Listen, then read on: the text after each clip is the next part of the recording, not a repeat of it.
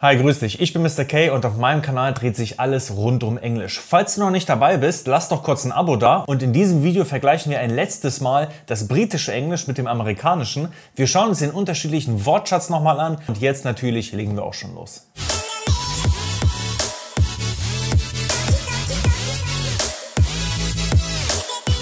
So, und wir knüpfen gleich ans letzte Video an und die Nummer 41 wäre Rubbish und Rubbish heißt im Amerikanischen Garbage oder Trash.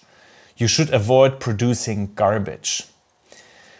Die 42. Im britischen Shop, im amerikanischen Store, der Laden, there are many stores in downtown. Als nächstes der Silencer, der Auspuff, heißt im amerikanischen Muffler. The muffler of this car is very loud.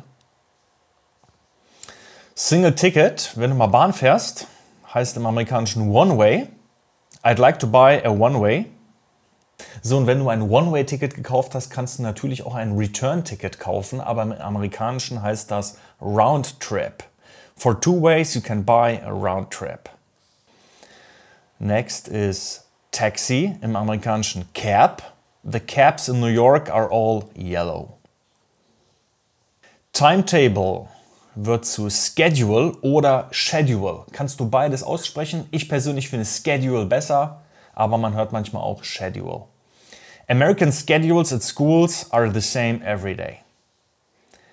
Tin, die Dose, wird zu Can. Food in cans is not so tasty. Torch wird zu Flashlight, Taschenlampe. A flashlight in the dark can be very helpful. Trousers werden zu Pants. Chinos are very nice pants. Underground wird zu Subway, so wie die Fastfood-Kette. Und many people use New York's Subway every day. Underpants werden zu Shorts. In winter you need warm shorts. Wardrobe, der Kleiderschrank, wird zu Closet. Many clothes need a big closet. Windscreen wird zu Windshield. The windshield of this car has a hole. Das gute Tea Towel wird zum Dish Towel. Can you dry the dishes with the dish towel? Sweets wird zu Candy, die Süßigkeiten. Candy is full of sugar. Pram, Baby Carriage. The baby lies in the baby carriage.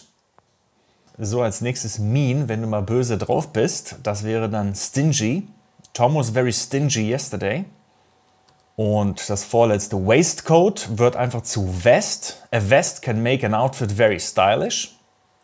So und als letztes der Tab, der Wasserhahn im amerikanischen Faucet. Achte auf die Aussprache. Look, the faucet is dripping.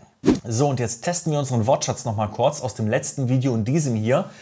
Have you seen Dave's flat yet? Da haben wir jetzt flat. Wie war das jetzt nochmal im amerikanischen? Have you seen Dave's apartment yet? Als nächstes, in this pub you can get fantastic drinks. Jetzt haben wir hier Pub. Wie könnte man das jetzt im Amerikanischen sagen? In this bar you can get fantastic drinks. Also Pub wird zu Bar. Can you please take the rubbish out? Rubbish, der Müll. Wie war das amerikanische Wort hier nochmal? Can you please take the garbage out? So als nächstes, she opened the tap and watered the garden. Also sie hat den Wasserhahn aufgedreht. Tap, das amerikanische Wort. Und auch die Aussprache hier ein bisschen anders bei watered und garden. She opened the faucet and watered the garden. Also hier hat man diese R-Laute sehr, sehr gut. So, und als letztes, we took the lift to the top. Jetzt haben wir Lift, den Aufzug. Wie war nochmal die amerikanische Version? We took the elevator to the top also Elevator anstatt Lift. Und hier auch nochmal richtig schön diese Betonung des O. Im Britischen ist es Top und hier im Amerikanischen ist es Top, wie ein A-Laut.